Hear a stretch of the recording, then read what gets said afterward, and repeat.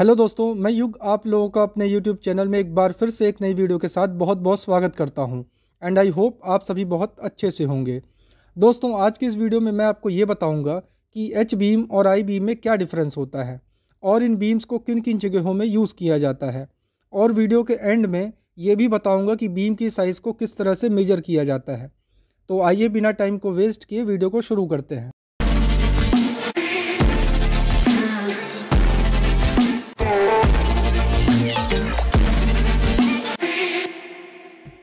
किसी भी fabrication industries structure या फ्रेम को बनाने के लिए बीम का यूज़ तो होता ही होता है। सो so बेसिकली जो फ्रेशर होते हैं, उनको एच बीम और आई बीम में काफ़ी कन्फ्यूज़न होती है और उनको ये नहीं समझ आता है कि कौन सी बीम आई बीम है और कौन सी एच बीम सो बेसिकली इसको समझने के पहले हमें बीम के पार्ट्स को समझना होगा। बीम के इस हॉरिजेंटल पार्ट को बीम का फ्लेंज बोला जाता है और इसकी विर्थ इट मीन्स इस लेंथ को फ्लेंज विर्थ बोलते हैं। और इसकी जो थिकनेस होती है, उसको हम फ्लेंज की थिकनेस बोलते हैं। जबकि बीम के वर्टिकल पार्ट यानी इस बीच वाले पोर्शन को बीम का वेब बोला जाता है। बीम की वेब की थिकनेस जितनी ही ज़्यादा होगी बीम भी उतना ही ज़्यादा स्ट्रॉन्ग रहेगा। और एक फ्लेंज से दूसरे फ्लेंज के डिस्टेंस इट मीन्स ये वाली डिस्टेंस बीम की वेब हाइट होती है। अब बात आती है कि एच बीम और आई बीम को किस तरह से आइडेंटिफाई किया जाता है। तो सबसे पहले आप डायरेक्टली बीम के सेक्शनल व्यू को देख करके यह चेक कर सकते हैं कि कौन सी बीम एच बीम है और कौन सी आई बीम बिकॉज़ जैसा कि नाम से ही क्लियर हो रहा है कि एच बीम देखने में एच अल्फ़ाबेट की तरह दिखता है, जो कि आप क्लियरली देख भी सकते हैं कि इस बीम का सेक्शनल व्यू देखने में एच के शेप में दिख रहा है। जबकि जो आई बीम होती है, उसके सेक्शनल व्यू को देखने पे वो आई अल्फ़ाबेट की तरह दिखते हैं। ये सबसे बेसिक और इजी तरीका होता है दोनों तरह की बीम को पहचानने के लिए। नेक्स्ट है वेट दोनों बीम के वेट में भी बहुत डिफरेंस होता है। लाइक एच बीम का वेट आई बीम के कंपेयर में ज़्यादा होता है। It means H beam weight में ज़्यादा वजनी होते हैं। जबकि आई बीम का वज़न एच बीम के कंपैरिजन में कम होता है।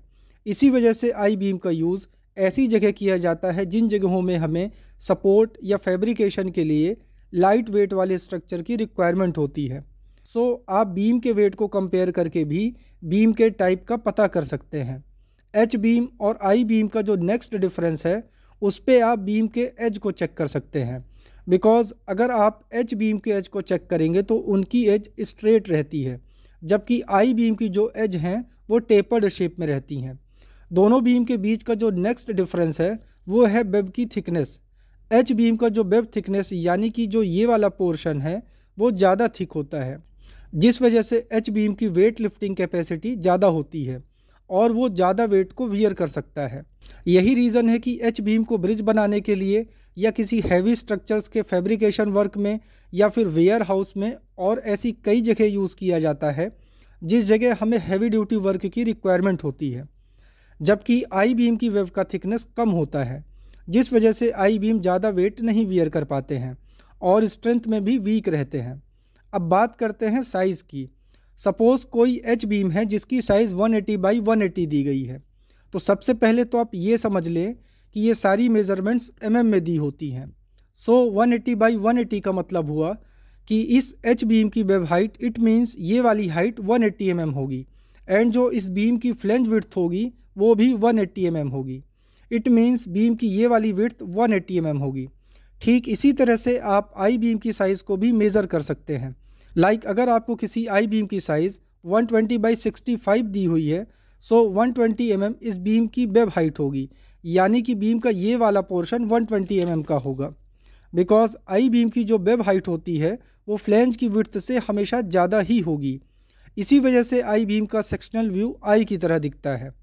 तो 120 ट्वेंटी mm इस आई बीम की वेब हाइट हो गई एंड 65 फाइव mm इस बीम की फ्लेंज विर्थ हो जाएगी। सो so आप इस बात का हमेशा ख्याल रखें कि आई बीम की साइज़ में जो सबसे ज़्यादा लेंथ वाली साइड होगी, वो आई बीम की वेब हाइट होगी। जबकि जो सबसे कम लेंथ वाली साइड होगी, वो आई बीम की फ्लेंज विर्थ होगी। तो दोस्तों आई होप कि आप लोगों को ये वीडियो पसंद आई होगी और आपके लिए काफ़ी यूज़फुल भी रही होगी। और अगर आपको ये वीडियो पसंद आई हो या फिर आपके कोई डाउट हो तो आप मुझे कमेंट करके ज़रूर बताइएगा। और अगर आप चैनल में नए हैं तो आप सभी से रिक्वेस्ट है कि प्लीज़ चैनल को सब्सक्राइब कर लें ताकि मेरी आने वाली वीडियो आपको टाइम से मिल जाए। और इसके साथ ही वीडियो को लाइक एंड शेयर ज़रूर करिएगा। Thank you for watching